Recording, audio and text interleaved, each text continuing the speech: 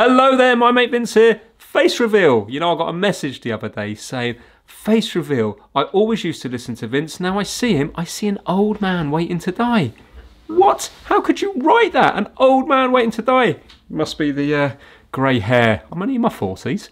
Anyway, I ain't dying it, so get over it. In this video today, I am going to be working on everything. So I'm just going to be trying to fix a wide variety of stuff. So let's just get straight into it and see if we're successful. Might be, might not, but it's worth giving it a go because if something's broken already, not working, faulty, then what difference does it make? If you fail, it's still broken, not working, faulty. So you might as well give it a go. So let's get started on the very first item.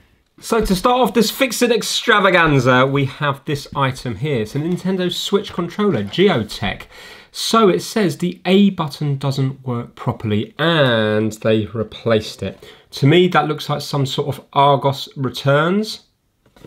So uh, yeah, and sure enough, when I connect it up, it's got power in it and I can connect up everything, but it's not the A button that doesn't work. The B button's registering as the A button. Very strange. You can also replace these little thumbsticks here with longer ones. So it's a nice little controller and you've got buttons at the back here. So if we were to go into test input devices, this will allow us to check all the buttons. Yeah. Now look at this. Let me zoom in and show you that B is actually A. But A is A. Because sometimes on controllers it can be mixed when you're using other controllers on the Switch. But look, A, X, Y, A, A, A, A, A, A, A. So there is no B. So there we go, that's the problem there. But check this out.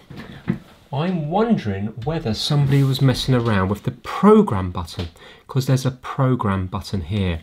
So I wonder have they accidentally programmed B to A? You know, if a kid was using it, they might have been hitting the buttons at the back here and they might have accidentally held that down. I haven't read up how to do the programming yet, but why don't we try to reset the controller and see if that fixes it. So I've had a look in the instructions and this is the reset button just here. So I don't know how long we have to hold it in for. Let's hold it in now. Let's hold it in for five seconds. The lights have gone off. Right, let's see if that will have reset it. So now I presume it's not going to sync up automatically. No, okay. Oh no, it is going to sync up automatically. Okay, let's see if that's fixed it. It's weird, when you reset something, you expect it to be back to factory. No, still the same. Right, okay, let's see if we can program back to B again. Oh, you only program the back buttons. Right, so there definitely is a fault here. Interesting. Okay, I thought maybe you could program other things on here. Right, I mean there is a way in the switch menu that you can swap buttons around, but the thing is it obviously means the controller is faulty. So let's uh, take it apart and see what's going on. There's a load of crosshead screws at the back here. Will it be something straightforward or not? So we just need to undo various screws from the back and also some inside screws as well holding down a circuit board because we need to get to the side where the buttons are to see what's going on. Right now, so these two are behaving the same as each other. Why? So here I think all of them will be connected to each other on one of the pads but not on the other ones. So let's see. This one here. No, no, no. Let's try this one. Yes, Yes, yes. So all those pads are connected to each other. Now, that pad's not connected to here, but is this pad connected to here? Yes, it is. Well, there we go. That's our problem. So if you have a look, that's not connected to here and here. That one's not connected to here and here. Yeah, but yet these two are connected. Why? Why are they connected? Let's see, are they completely connected? Let's get a resistance reading. So let's go on the ground side. That should be the same as my lead shorting, which it is, under 1 ohm. Let's try this side.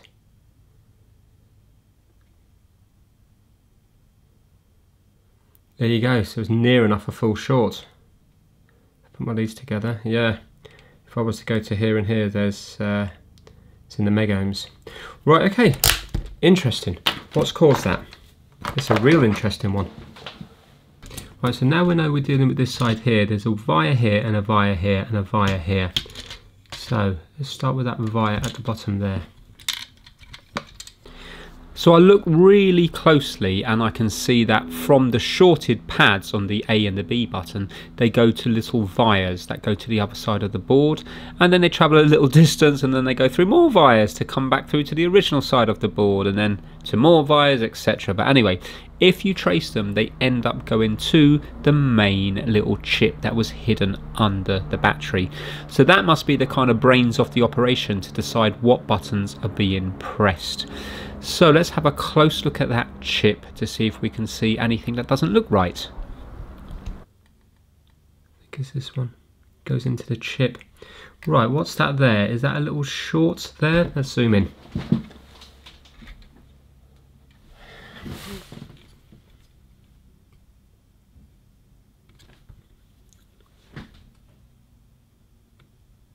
Oh, you beauty.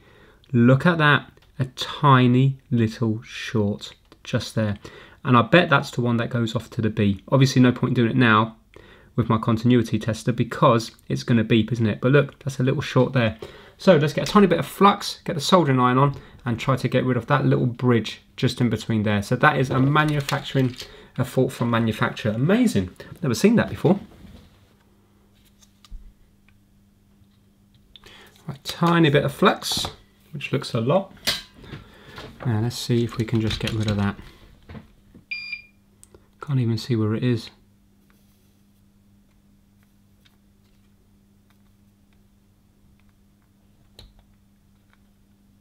There we go. Think that's gone. Let's clean it up with some isopropyl alcohol, my favourite.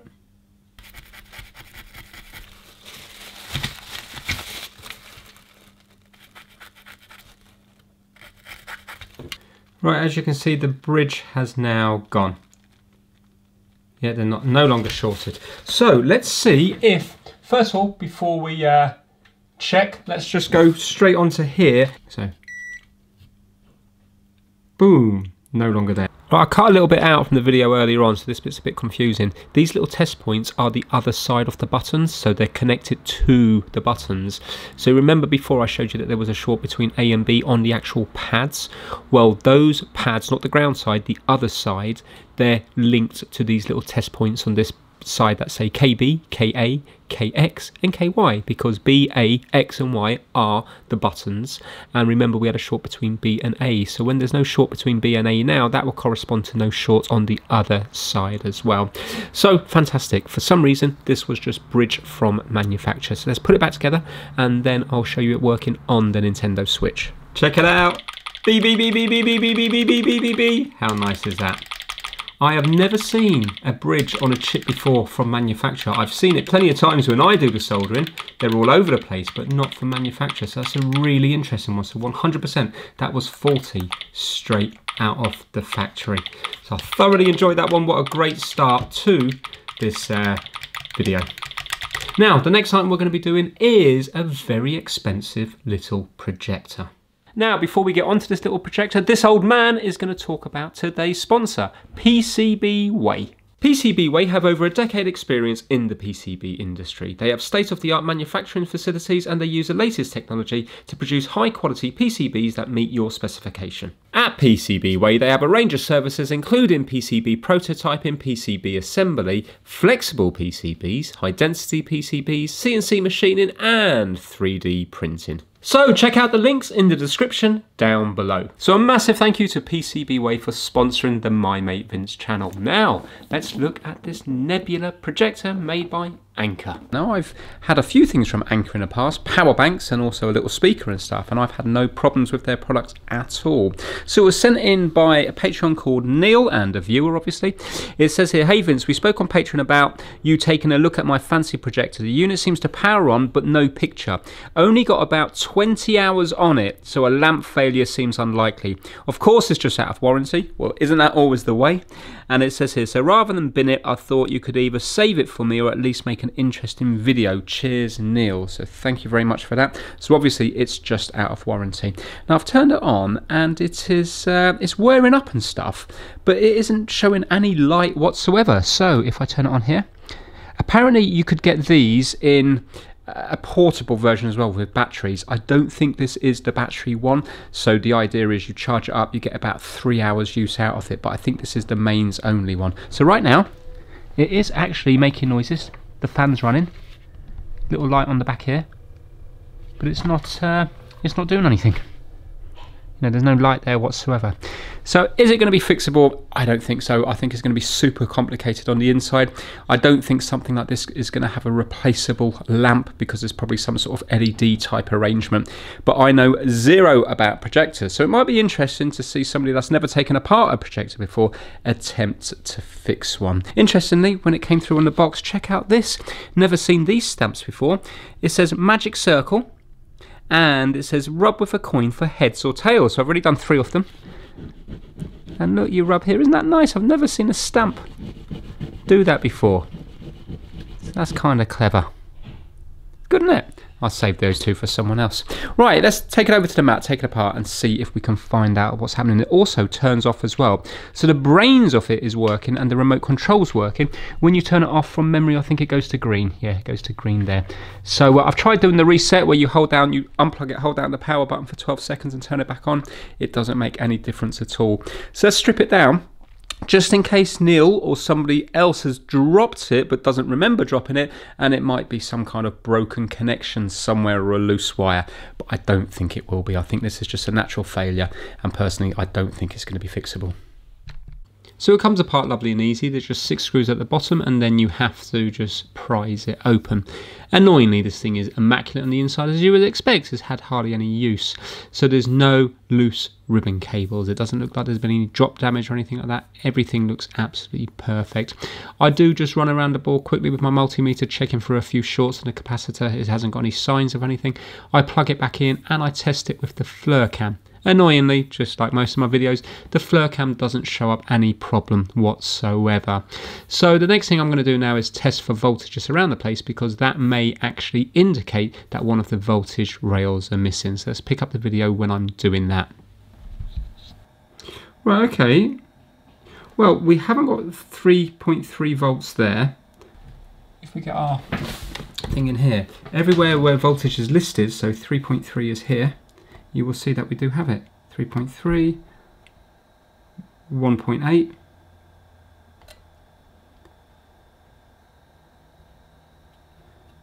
Twelve point five,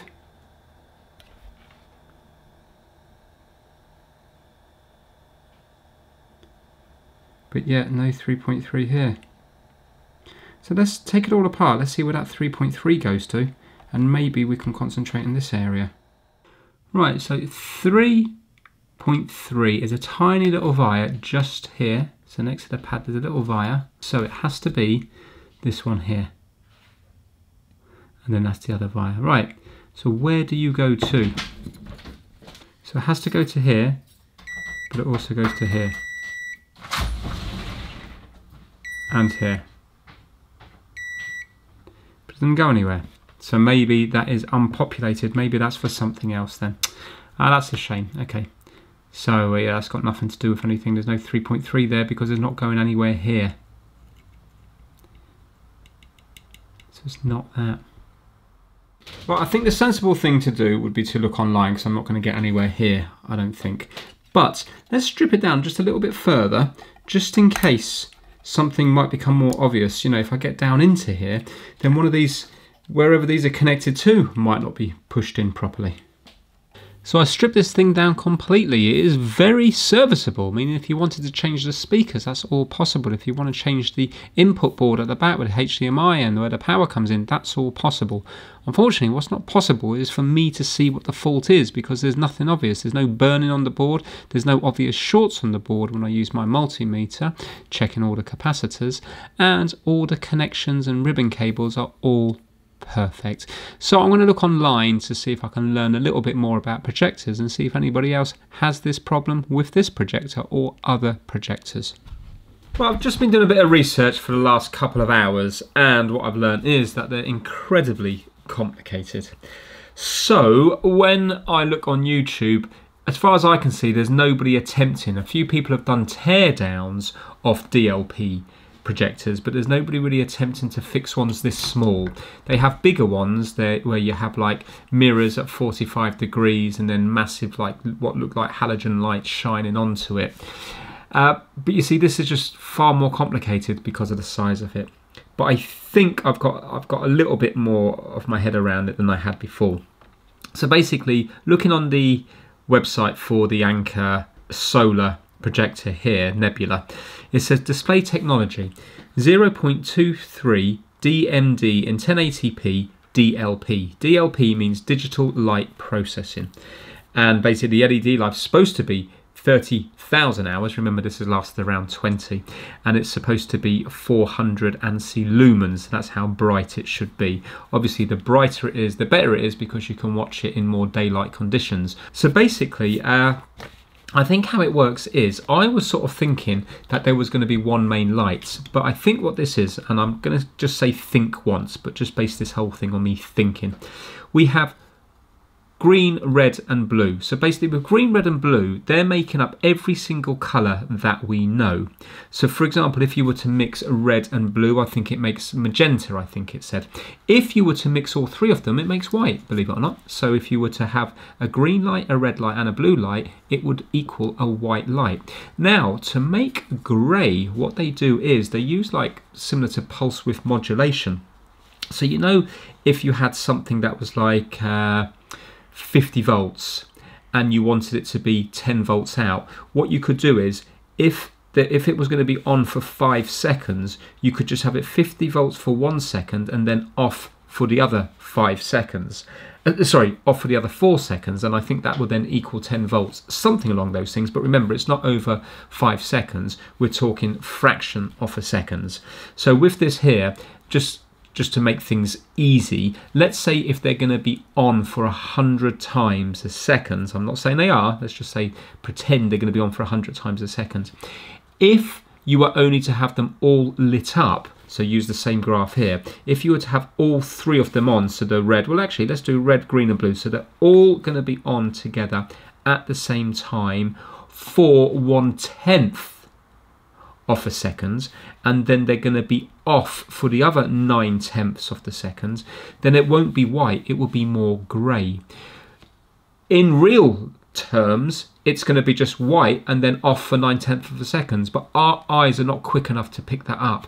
So then when the next one tenth of it, when, when the next uh, whatever, I can't remember what I said now, one hundredth of a second or whatever, when it happens again, and then it's off for all that time, our eyes are not quick enough. So all we see is a grey image rather than it being on and off, on and off. Yeah.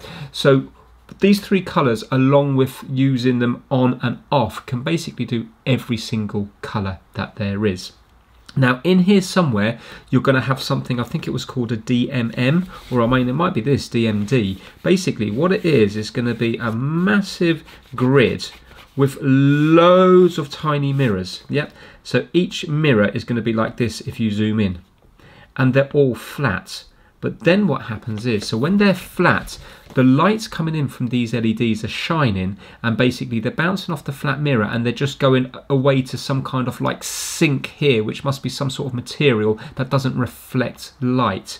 But then when they want the pixels to shine out here, the light to shine out here, they will angle these. So let's say now this is the same grid here, but yet this one here is going to be angled ever so slightly. So it, it goes up this way. And when it goes up this way, the light hits it and then comes straight out of the lens here.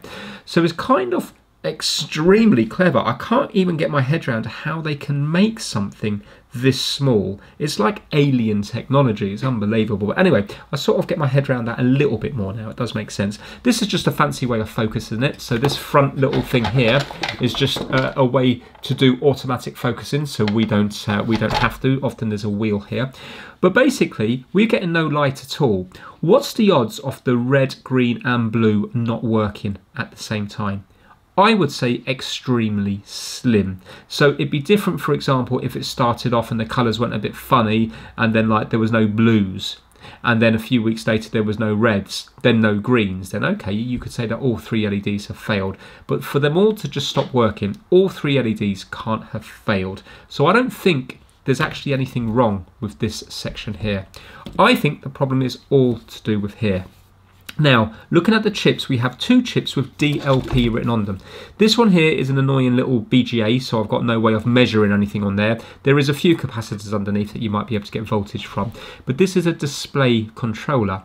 But remember at the very beginning, I thought that maybe this was going to be the faulty one because we've got a missing thermal pad here, so this corner of the chip's not getting anything. This here is the PMIC and high current LED driver IC. So power management IC and high current LED driver IC. So this chip here is the thing that controls these, the lights. And remember, we haven't got any light. I think the problem is this here, but I don't know maybe it's not getting power. Now, if this was a simple chip, it'd be nice because it would just have one power into it. Annoyingly, this chip is not simple. Of course, it's not going to be simple. And we have 1, 2, 3, 4, 5, 6, 7, 8, 9, 10, 11, 12, 13 powers going into it. But it's not just that. I'm going to try to measure these now if I can. But basically, uh, I mean, it's just ridiculously complicated. And when it comes to voltage, it's not just the power ones. We're going to have all other things as well, which will need, uh, which possibly need to be measured. But how far do you take it? I'm not going to measure everything here. I don't even know if the chip's faulty. Uh, basically, I'm not going to be able to fix this. It's far too complicated. If I was to take a guess, I say that this chip here has gone faulty. Don't know why. Maybe it's to do with heat. Maybe it was just again from manufacturer. It just wasn't uh, wasn't very good, and then 20 hours use, it's gone. Okay, I'm skipping through this part because I was filming for well over an hour on this. Basically, I couldn't get to any of the voltage pins here. These are the main ones like power in 1, power in 2, power in 3, etc. because it was on the underside of the board and it's so tightly compact in here that the board I was looking at gets its power from the board above and there's little link ribbon cables going here and here just tiny little Lego ones that are only about the size of a postage stamp. So basically there's not enough room to lift it up to get your probes in to measure the chip. And even if you could get your probes in there's 25 pins on each of the chip uh, each side and it's about that big. So all that's going to happen is your probes will slip and short between different ones there Anyway, it's kind of pointless because even if I have these voltages, it doesn't mean it's okay because we've got another load of voltages here. And then even if I had all these voltages, it might not be getting the enable pin. So my chip might not even be getting enabled. I think the fault is with, for example, this chip, but I don't really know. It could be the board above that's not putting the voltage down to it. I think the only way this is fixable because it's so complicated is if you had another working one.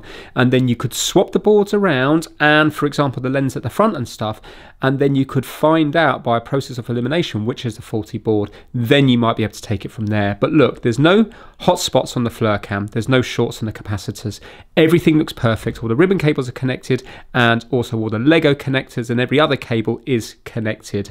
So I think the fault is probably going to be a chip but I've got no way of proving that so I'm not going to waste your time on it.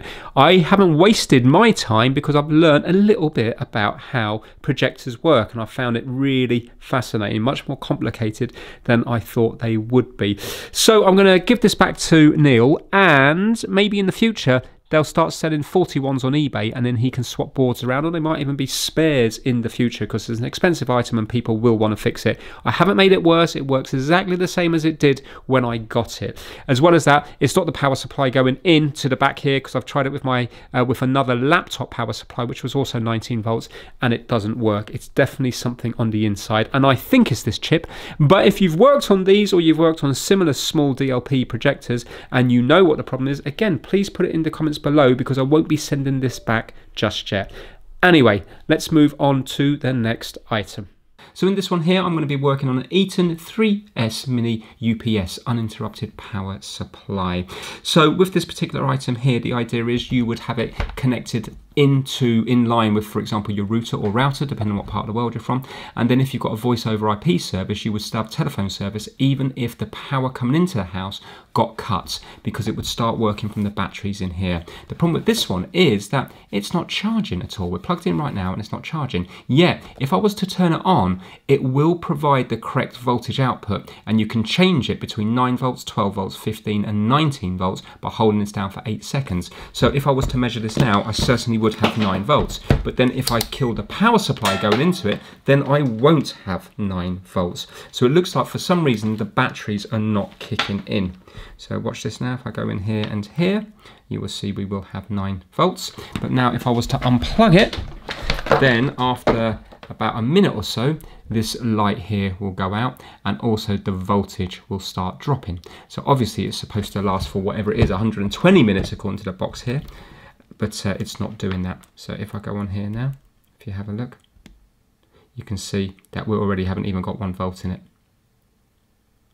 So the battery side of it is not working. Let's take it apart and see what's going on. Retail, these are around about 50-ish pounds. Right, here we go. Ah, interesting. Look at that. How easy are they to replace? That's really, really nice. So I presume that there's no uh, voltage in these ones here. That's fantastic. Right, let's see if these are completely and utterly dead. So these are 18650s, 2200 milliamp hours. Let's go to volts DC. Yeah, unfortunately they've gone below their safe level. That one there is completely and utterly dead. Yeah. Right now, what I'm going to do is because by rights, once these fall below a certain level, like, I don't know, three-ish volts, they're not safe to use now. So let's get two more batteries, pop them in, and then uh, just out of curiosity, we'll put a little bit of voltage into here just to see if they do kickstart. Right, so I've got two batteries here, but they're not identical. To start with, these are 2,500 milliamp hours, while these ones here are 2,200 milliamp hours. Also, I haven't looked up the spec of these, so I don't know about like the discharge rate correct me if I'm wrong, but I'm not sure if it's going to matter too much on a device like this because it's not like a power drill that's going to be draining loads. So I'm sure that this is going to be a safe replacement for here. But if I'm wrong, put it down in the comments below. And obviously, if you're copying me, don't copy me. Do your own research and find out what batteries these are and then get like for like replacements because that's how the circuit's been designed. It is lovely though that it's got a uh, an option to change them over. Right, let's just do a quick measurement on here. So 4 volts in that one and 4 volts in that one. So these ones should be fine. So negative this side here, positive up there, negative here, positive here. Now let's see if we go here, what we're reading. Right, 8.1 volts. So now what I'm going to do is I'm not going to put my hand anywhere near here because I could kill myself. I'm going to plug it in. I haven't plugged in the other side yet. I'm going to plug it in. I want to see if it jumps up. So one second, let me get a, a reading now. Let's see if it is going to charge, bearing in mind that these are nearly fully charged. So we've got 8.1 volts. Let's plug it in and see what it does. Because maybe the charging circuit's not working. When did you have to turn it on in order to make it charge? Maybe.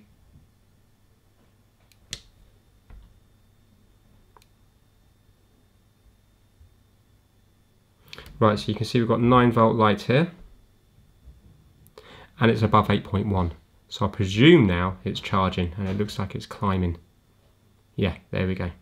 So let's unplug this now and we'll see is it going to hold on to the 9 volts.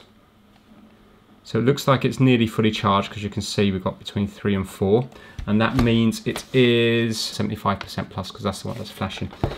So there we go, it just looks like failed batteries, but why did they fail in the first place? It looks like they're charging okay, and you can see now with the new batteries in here, we've got this currently set to 9 volts, and it is outputting just over 9 volts. So if there was a power cut, like there is now, because I haven't got it plugged into the mains, it would be powering whatever equipment you want it to power at 9 volts. So this does actually appear to be working.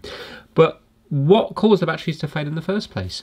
Let's just try, I know it's dangerous, but we'll just try to put a little bit of voltage into the batteries just to see if they do want to take a bit of voltage. So I'm going to do that with my bench power supply. So what's interesting here is you only see the charged light when the actual mains coming in has been interrupted because then you've got a visual indication of how long it's going to last before it dies completely. So when it's plugged in normally you don't see it charging. It's only when it's unplugged from the mains that you will see the battery indicators come on. So that's quite clever so you actually can see how long your piece of equipment is going to work and whether or not it's going to go dead before the mains comes back on.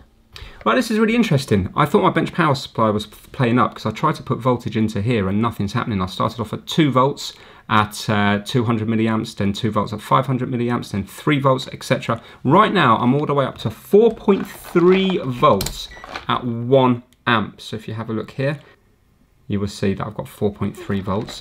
Now, if I go onto my good battery, sure enough, it's drawing 0.998 it's gone into constant current at 1 amp yeah? So that is drawing energy from my bench power supply. This here even at the higher voltage is not drawing any amps whatsoever. So it's like both batteries have just completely failed internally.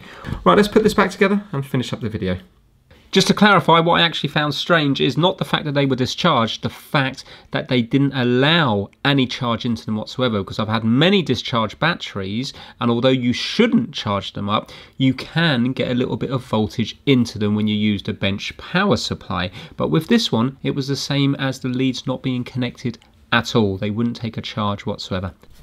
Right, let's plug it in.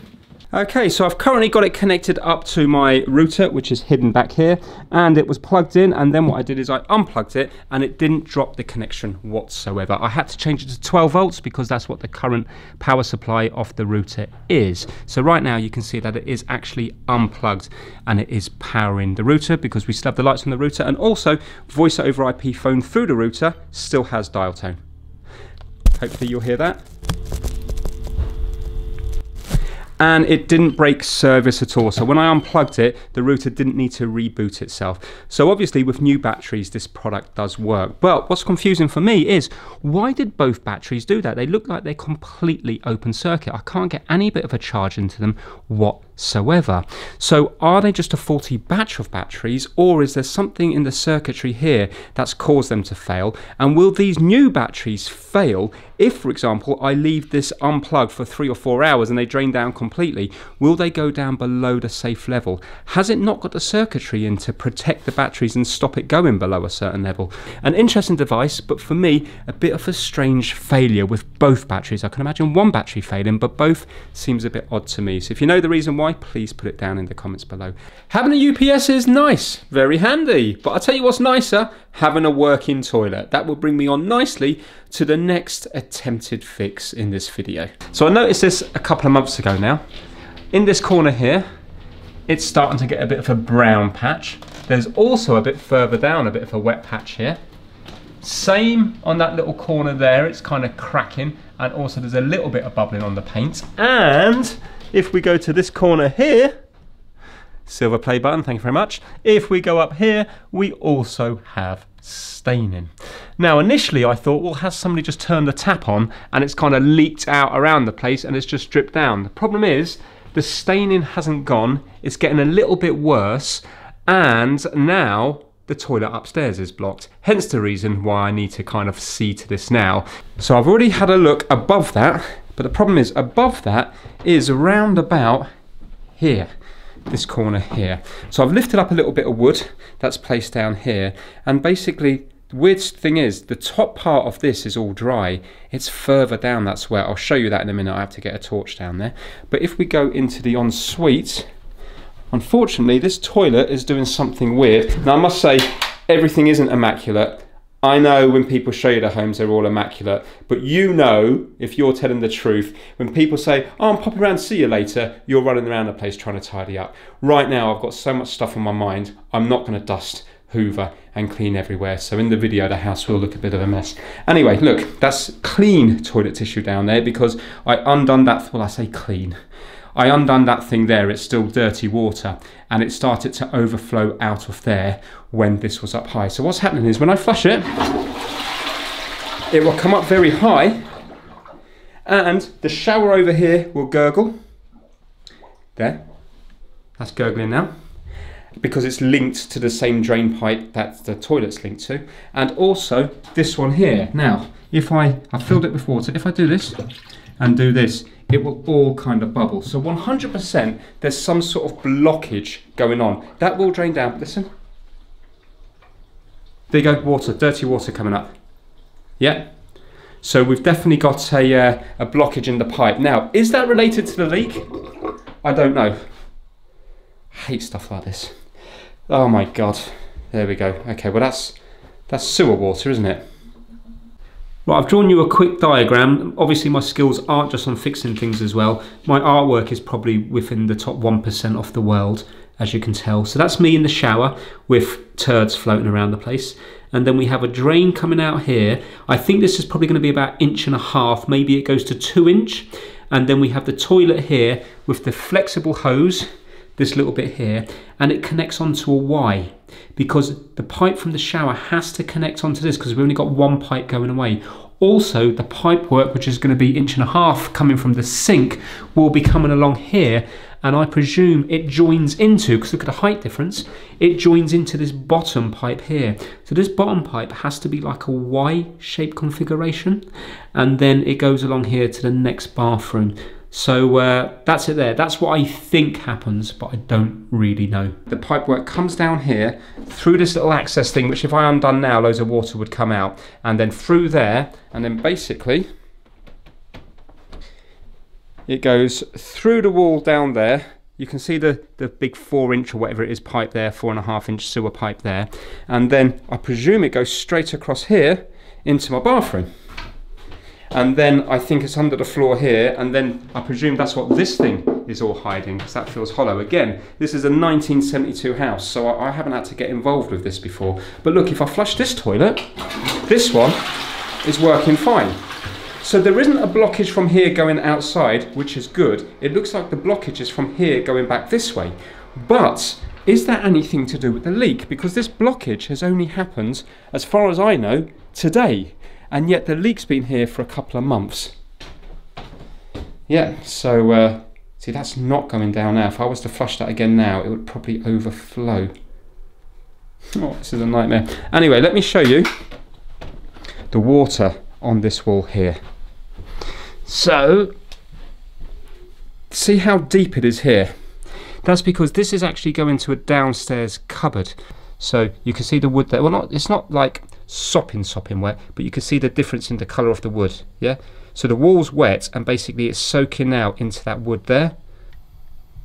Right, there you go. So you can see it glistening away for itself and the difference in the wood there. You can see a dry bit of wood and the wet wood. So there's something leaking onto that, this wall. But I've put my hands under all these pipes here yeah, I've felt around all underneath them and there's no leak. I've even felt the bottom of this soil pipe as much as I can, it's not that easy, and that doesn't feel wet. Annoyingly, I think I'm going to have to lift the carpet back and see if there's any loose, not floorboards, because this is a 1970s house, so it's all chipboard, which is the, the bane of uh, repair, because you can't get to any, any of it because it's massive chipboard. As well as that, I'm limited in tools because a lot of my tools are in the Rolls Royce, but the way I look at it is that something must have been done here before to get that pipe in, so there must be some chipboard here that can be lifted. Let me show you the cupboard underneath there, which makes it a little bit more complicated because I think it might be asbestos. Again, 1970s house, there's going to be traces of asbestos around the place, which is a shame. That's the bit of wood that I took out from the floor. If you have a look here, so basically, this is it here. Yeah, so that's why it's so deep. So the wall it's this wall that's wet. So how can this wall be wet on this side? Yeah, so it's coming through. You know, that side's wet, so I presume this side's wet because there's nothing leaking on that side. How can this side be wet if there's nothing here? Right, so I need to lift up the carpet. This is Axminster carpet, so it's very good quality. So as long as I don't rip it when I lift it up, I'm hoping it will go back down again. Okay, so uh, just in case you say it, of course I'm using the wrong tools. I haven't even got all my tools here at the moment because they're in the car. And I'm not a carpet fitter, I'm not a plumber, I'm not anything. I'm just uh, trying to fix this. So you don't have to talk about the fact that I haven't got the correct tools because it's obvious. Right, so we've got the gripper rods. These are uh, great for uh, going straight through your fingers. gripper rods are just at the edge here and they actually grip the carpet in place. So I'm just fast forwarding through this bit here, just trying to get all the carpet up. So far in this video, I haven't stabbed myself on any of the gripper rods, which is a given. It's going to happen. But uh, yeah, so far, so good. Another thing which is good is the My Mate Vince Massive. The members this month are kitdigital.com, Kip Hakes, and Max Rokotansky. Having Fun Repairs, Chris Seal, Felipe at MrKeeps.com, DJ VG, Pigsy, Robert from Timsey's Auto Air, Daniel Watson, Anthony Dean, Bazza2, Russ Mellinson, Gaspar Heller, Ricard Berglund, Jacob Culpin, Matt Rawlins, Soul Reaver 555, Dorian from Hoover Lux Restorations, and Angry Al Tech. Thank you so much, guys. So now we have the carpet up, we have to now undo some of the chipboard to give us access below. Okay, all the screws are undone. They actually came out really easy, just with a normal screwdriver, without the electric screwdriver, so all is good. Right, I've got a blunt chisel here. See if I can lift this up. Yes, I can. Oh, I don't think that's going to tell me anything. Right, well I can see the soil pipe anyway. Right, let's see what is going down. Nothing is going down, there's no water there. Let's get the torch. That's completely utterly dry. How about this one here? And that is completely dry. Right, so that is all good. Oh, you can see it's been re uh, plasterboarded. That's the kitchen. Can you see the original plasterboard there? And then they put new plasterboard up there as well. Right, let's have a look down here. See if we can see anything.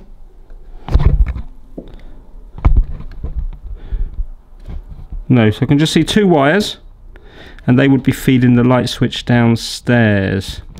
So it's not, uh, it's dry there. I say it's dry there, but no, I can clearly see that there is some sort of patch there. Uh, annoyingly, I didn't put my hand down to feel whether that was actually wet or not, but there's certainly a patch there. Can we see down this one at all? That down there is dry. What is going on? I wonder has the soil pipe got a, a join? I wonder can I see a join on it? Because maybe it's leaking out the join. No, that looks like a continuous pipe. What is going on? Where is this leak coming from? I mean, there wouldn't be any pipes just run... Let's look back in here. There wouldn't be any pipes just run in this bit, would there? They've got some central heating plastic pipes there, but they're all dry. It's not uh, really an option to take up this. I'm going to have to take up everything. Well, it goes under here. The wall's been built on top of it. Well, this is a nightmare. So that's the join there. Look, and it's been... I don't think it's a push fit one. It looks like a solvent weld join. You know, where they used a glue. So it's going to be very unlikely to have failed from there. And anyway, I can get my hand under it and it's not wet. What is causing the wetness at the bottom down here? What is causing that there? Well, it's a mystery to me, but today the toilet is blocked. Yet I had water damage on the ceiling downstairs a couple of months ago. So I'm just going to sort out the blockage. At this moment in time, I don't really know if the blockage is related to the leak. I think it is, but it could be two separate things. So let's just sort out the blockage. Well, this is interesting. So my son just came out the uh, bedroom and he was like, uh, "Oh, Dad, yeah, I forgot to tell you, I had a shower last night, and it nearly overflowed over here, so it wasn't draining." So uh, yeah, and now look, that's not draining now. And I pulled this out earlier. There's no big hair blockage.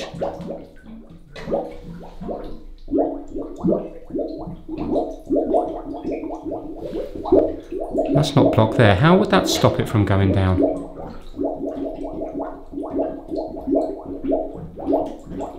What's happening on the toilet? That's bubbling as well. Might give my dad a ring, he might have more knowledge about this. Uh, well, it's not draining anyway. So 100% we've got a blockage. Where is that blockage? I'm wondering if I should buy some rodding something or other. I can see that you can buy this thing here, a little pipe drain cleaning coil. It's only £14, so I might get it. This Screwfix catalogue is out of date, but something similar would be around now. I have got this thing that I use for uh, fishing through for, you know, like electrical wires and stuff like that. So I might try putting that down in there just in case, because I think the blockage is going to be on that Y shape somewhere. That's what I'm thinking now, which is going to be better news than having to dismantle that whole cupboard in there to try to fix a tiny weep. I think I'll live with the weep because I don't think, I reckon the weep might have been there from, uh, you know, from years and years and years ago, but it's never bothered anybody. So yeah, okay, I'm going to get the tripod out, undo that, see what's happening. Well, I tried to put this fishing wire rod type thing through into it, and uh, to be fair, I do manage to get quite a bit down there, but I don't hear any gurgling, I don't seem to come across much resistance, and when I pull it out, it does have a few bits of toilet roll on it, but it's not really doing anything. So then I turn my attention to the actual toilet, and it seems weird trying to rod the whole toilet with this little fishing wire rod thing, which is only a few millimetres across. Anyway, I do get loads of it down there, but because it's so thin, I'm not sure if it's just doubling up on itself. You know what I mean? It might be coiling up somewhere. If it hits against a bend, it might just keep coiling rather than finding, you know, you need a thicker rod really to go down there to uh, actually push its way through whatever the blockage is. So I, I don't have any luck with it at all. So then I just attempt to do this using my good old fashioned hand and throwing water down there. And then this happens.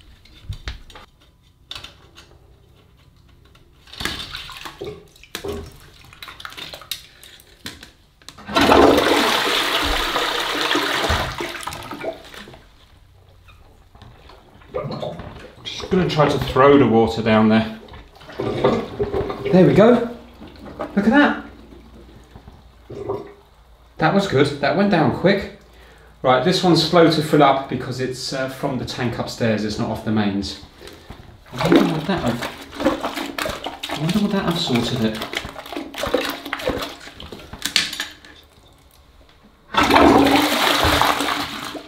Oh, but that wasn't a full flush. This reminds me of how I spent my 18th birthday. I was in Ibiza, first holiday away from the parents because we just used to go to Ireland every year, like the lads' holiday, just when I finished college. And uh, yeah, I don't know what, I think I was introduced that night to tequila or something like that. And uh, I remember making it into the bathroom, into the restrooms, and then I remember making it into the cubicle, and I remember being like this. Anyway, next thing I remember is that uh, I woke up in complete darkness and I basically seen a crack of light and a crack of light, and I thought, what? And then basically I fumbled around for the door, opened it up, and then uh, I seen more, a little bit more light.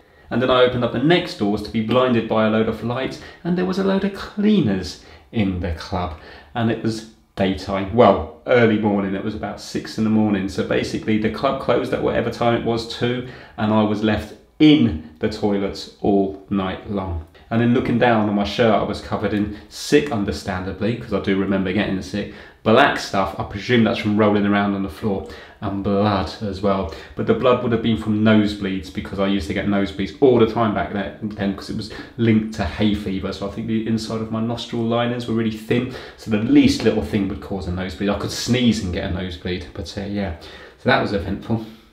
Right, okay, let's see if it's going to work now. Oh, hallelujah. Look at that. Fantastic. So great news, it's about four days later now and it's still not blocked and it's still flushing just fine. Showers in use, no gurgling, no nothing. And obviously it's all been put back here as if nobody's ever been under here, which is fantastic. That was until today. Let me show you what my son pointed out downstairs. That's one of his latest artworks. It's nice, isn't it? That's a painting, that back of a uh, Porsche. Copied off the internet. It is a picture off the internet, but it looks good. Anyway, he said, Dad, oh no, look at this. You ready? Before there was just a little mark up here. Now look after my meddling. Ta-da! and it's not just from me splashing about the place.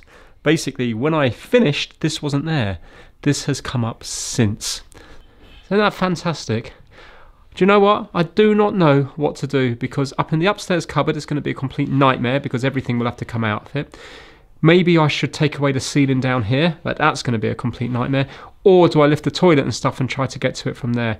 I just don't know. If I lift the toilet and then the leak is more that way, which it looks to be, beyond the toilet, then I'm going to be absolutely gutted. So, uh, yeah, right now, I don't know what to do. I'm not doing any more in this video. I just feel like running away, if I'm honest with you, and just burying my head in some sand somewhere. But uh, yeah, I'm gutted. I can't tell you how gutted I am because it's a problem that I need to sort. And right now, I just haven't got a huge amount of time to be dealing with this. But yet, I have to deal with it because sooner or later, I think the ceiling will collapse and I'll just have a, a sewer full of uh, excrement coming down on my nice Axminster carpet. Ah, oh, gutted. Anyway, let's move on to the next item. But yet again, that was a failure from my mate Vince. So here we have an Energizer hard case. It's a little torch here, 75 lumens, and also it's magnetic. But what happens is it doesn't turn on and off. When we screw up the battery at the bottom here, this switch here is not working. So let's take it apart and see what's happening. So this was part of an Amazon returns box that I got and they currently cost about £11 here in the UK. We've got four little screws up here, so let's undo these and see if this will give us access to this little on and off switch.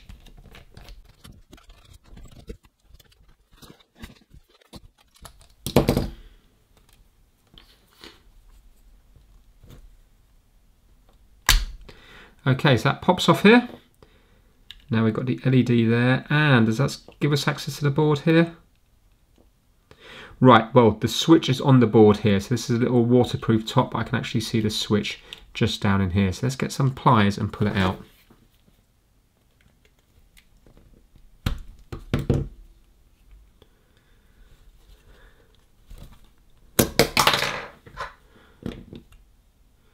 Right, it looks like I can't actually pull it out until I unsolder this bit here. So let's do that.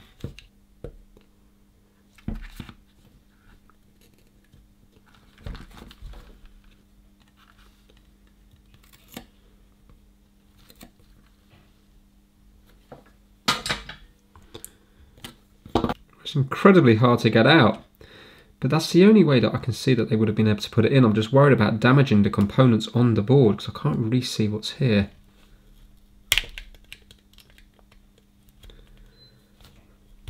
There we go.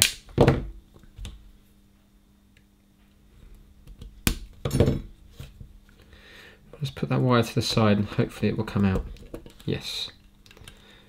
Right, so here we have it.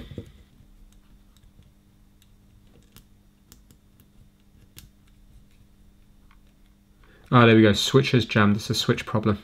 Right, let's zoom in and see if we can work out what's what.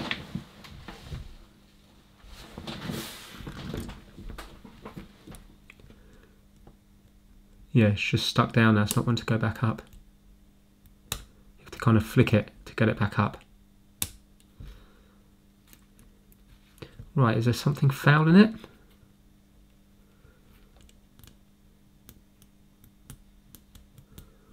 Right, this is a problem here. Can you see that we have a little arrow type thing here?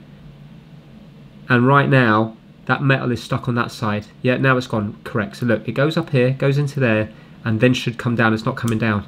So you kind of have to flick it. Sometimes it works, but other times it doesn't. So it looks like it's getting caught on the way down. So let's try to just widen it up a little bit on the way down.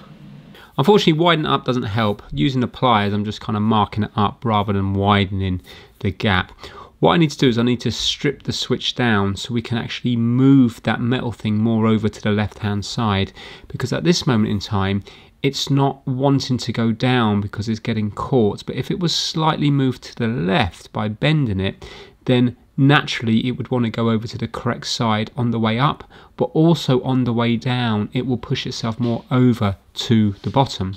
So uh, I think something like this is they must be made in their thousands or millions and I suppose sometimes tolerances might be just a little bit out if one bit is a little bit out and another bit's a little bit out maybe it ends in this one here where it will turn itself on and off sometimes but the majority of times it won't work so we need to strip the switch down and then I'll show you what I'm going to do.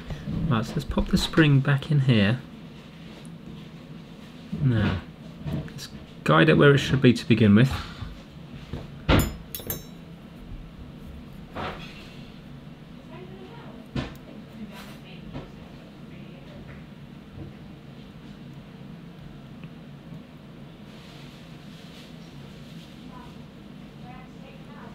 Right, so I put the lid back on and unfortunately it's doing the same thing. If I flick it, it will work.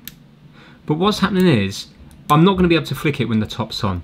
So I'm going to take it apart again and this time I'm going to put a little bend on that top bit so it's pointing more over this way and it'd be more inclined to go up here when it's going when it's down. The problem is it's not uh, it's not clearing. It's wanting to go back up this same way here and that's why you have to kind of flick it to make it work.